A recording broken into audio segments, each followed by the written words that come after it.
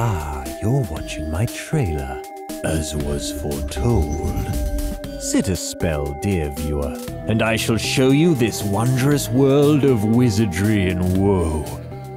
Step into the shoes, or at least the pointy hat and robes, of our intrepid protagonist, Leximan. You alone harness the hitherto unimaginable power of Leximancy. Weave the very fabrics of language itself. You'll no doubt say it's endless fun. Your teachers will warn you it's a risk of horrific proportions.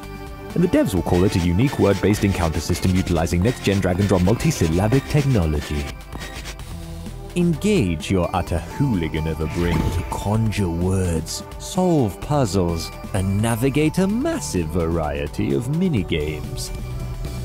Bother a chaotic cast of characters, embrace surprisingly fleshed out side quests, and try not to condemn anyone to perpetuity in shattered reality.